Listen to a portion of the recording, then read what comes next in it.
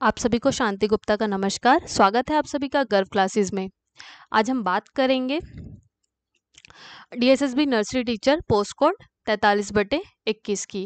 First of all मैं आप सबको ये बताना चाहूँगी कि इन वीडियोस को बनाने का मोटिव से मेरा इतना है कि मैं जो भी बच्चे एनटीटी की प्रिपरेशन कर रहे हैं, उसकी हेल्प कर सकूँ। तो अगर आपको मेरी ये वीडियो इन्फॉर्मेटिव लगती हैं तो आप प्लीज़ लाइक और लाइक और सब्सक्राइब करें। आज हम बात करेंगे ओबीसी एनसीएल की।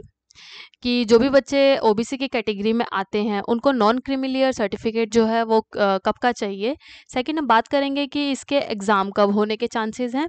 थर्ड हमारा है इसका स्टडी प्लान हमने फॉर्म तो फिल कर लिया, पर हमारी स्टडी की क्या प्लानिंग होनी चाहिए, जिससे कि हम जो भी है हमारा ये पेपर क्रैक हो सके, हम इसमें हमारा इसमें सिलेक्शन हो सके। नेक्स्ट है हमारा बेस्ट बुक इस इस के प्रिपरेशन के लिए हमारे पास जो है, हमारी स्टडी मटेरियल क्या होनी चाहिए, आज हम उस पर भी डिस्कस करेंगे।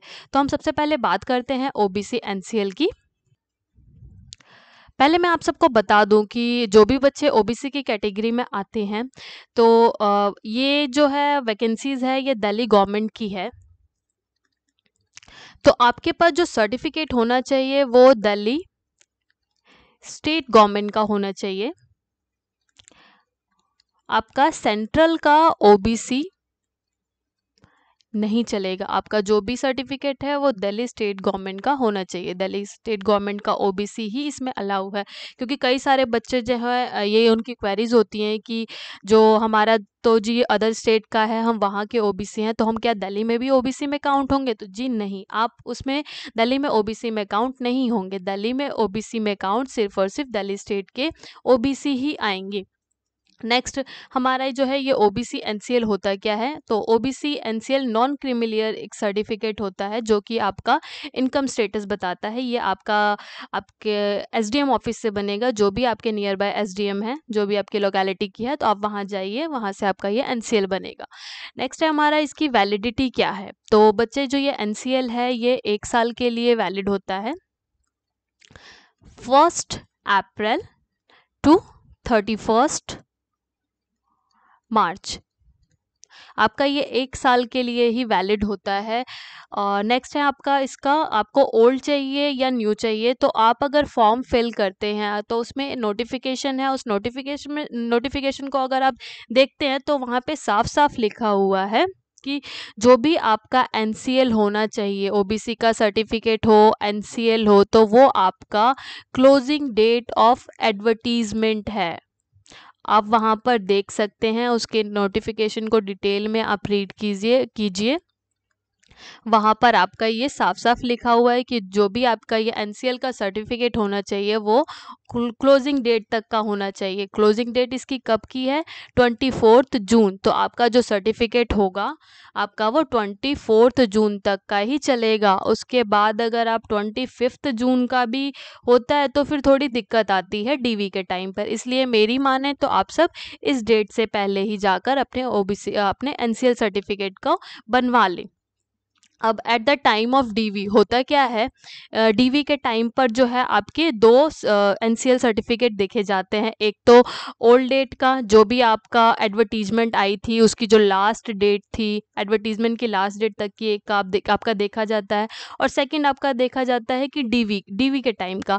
आपका डीवी के टाइम जो भी आपका वो करंट ईयर चल रहा होगा आपका उस टाइम का देख देखा जाता है। मान लीजिए आपका जैसे अभी आई वैकेंसी ट्वेंटी में आई हुई है इसमें आपका ये जून का और ट्वेंटी फोर्थ जून का हो चलेगा।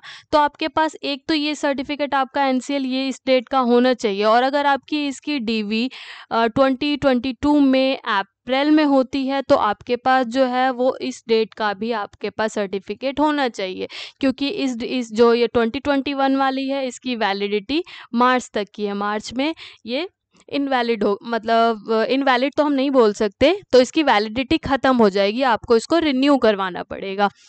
तो आपके पास ये दोनों ही होनी चाहिए। अगर आपको इससे रिलेटेड और भी कोई कन्फ्यूज़न है तो आप मुझे कमेंट बॉक्स में कमेंट कर सकते हैं। मैं पूरी कोशिश करूँगी आपके कमेंट को आपके क्वेश्चंस को रिजॉल्व करने की।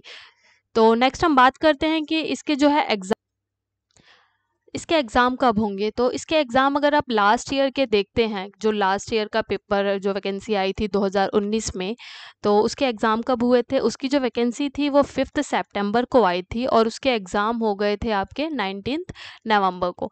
आपका उन्नीस नवंबर को इसका एग्ज़ाम हो गया था on the same year two twenty twenty में ही एग्ज़ाम हो गया था। इट मीन्स कि आपको जो है ढाई महीने ही मिले थे इसके प्रिपरेशन के लिए। तो अभी भी हम यही कह सकते हैं कि अभी थोड़ी सी सिचुएशन नॉर्मल नहीं है कोविड की वजह से, पर जैसे ही कोविड का थोड़ा सा सिचुएशन इससे नॉर्मल होती है तो डी ट्रिपल एस भी आपके एग्ज़ाम जो है कंडक्ट कर लेगा। तो हम बोल सकते हैं कि आपके जो एग्ज़ाम है सेप्टेम्बर, अगस्त सितंबर तक हो जाएँगे। नेक्स्ट है हमारा इसकी स्टडी प्लानिंग। जी, अब हमने फॉर्म फिल कर लिया, हमारा फॉर्म तो फिल हो गया, पर हमें इसकी स्टडी की प्लानिंग कैसे करनी है? हमें इसकी पढ़ाई कैसे करनी है कि हमारा जो है ये पेपर क्वालिफाई हो जाए हमारा सिलेक्शन हो जाए? तो आ, मैं तो क्या करती हूँ? मैं हमेशा ही अ, कोई भी अगर मेरा एग्ज़ाम होता है उससे पहले जो है मैं अगर मेरा कोई एग्ज़ाम होता है तो सबसे पहले मैं प्रीवियस ईयर के पेपर सॉल्व करती हूँ।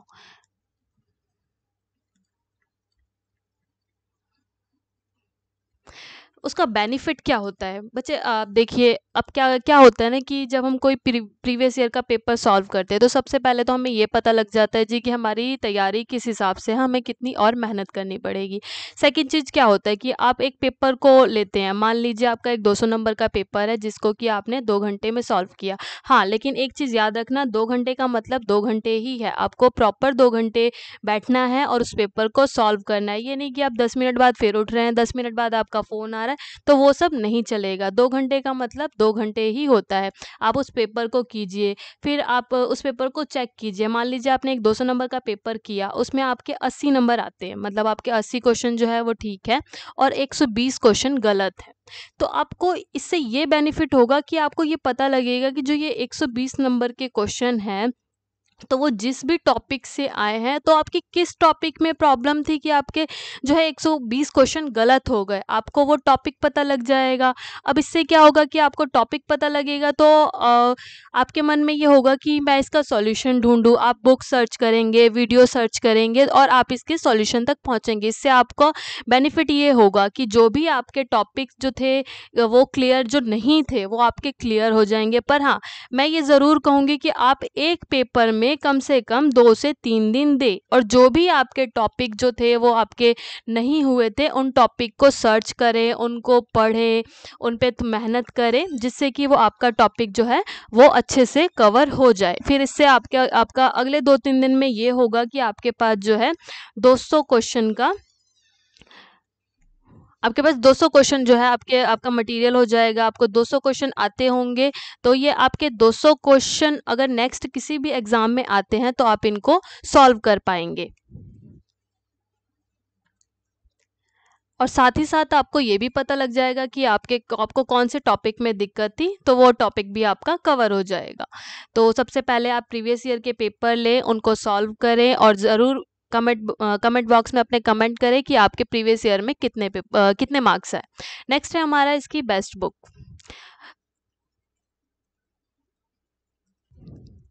तो बुक तो सारी ही बेस्ट होती हैं बस बच्चा पढ़ने वाला होना चाहिए। फिर भी हेल्प के लिए मैं ये कहूँगी कि आप अपनी कोर्स की बुक रीड कीजिए। जब आपने ईसीसी का कोर्स किया होगा तो आपकी उस टाइम की जो भी बुक्स थी आप उन बुक्स को रीड कीजिए वो आपकी बहुत ज़्यादा हेल्प करेंगी। अगर फिर भी आप मैं, मैं आपको उनके नाम बता देती हूँ।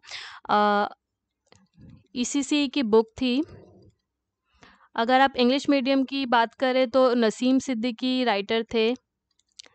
नसीम सिद्दीकी राइटर हैं इसके। आप उनकी बुक लीजिए, उनकी टोटल चार बुक्स हैं, उन बुक को आप पढ़िए, आपका पूरा ईसीसी का जो है, आपका सेकेंड पार्ट के लिए आपका कवर हो जाएगा। और अगर आप हिंदी मीडियम की बात करें तो बुक आती है प्रिय नंदिनी। दीक्षित की। आप ये बुक लीजिए, ये चाइल्ड डेवलपमेंट के लिए है। ये मैंने पर्सनली मैंने खुद भी रीड की हुई है, ये बहुत अच्छी बुक है तो आप इसकी हेल्प ले सकते हैं। तो आप इन बुक्स को ले लीजिए।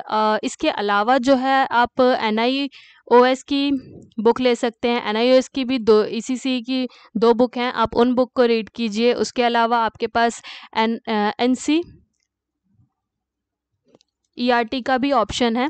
आप इसकी भी इलेवंथ या ट्वेल्थ क्लास की आप साइकोलॉजी की बुक्स पढ़ सकते हैं। तो आपको जो है सेकंड पार्ट के लिए आपकी इन बुक्स से अच्छा मटेरियल आपको नहीं मिलेगा तो आप इनसे तैयारी करें। आपकी बहुत ही अच्छी प्रिपरेशन होगी। फिर भी अगर आपको कोई और प्रॉब्लम आती है तो आप मुझसे पूछ सकते हैं। आज के लिए इतना ही। आप लोगों का बहुत बहुत धन्यवाद। अगर आपको मेरी वीडियो पसंद आती है तो प्लीज़ लाइक एंड सब्सक्राइब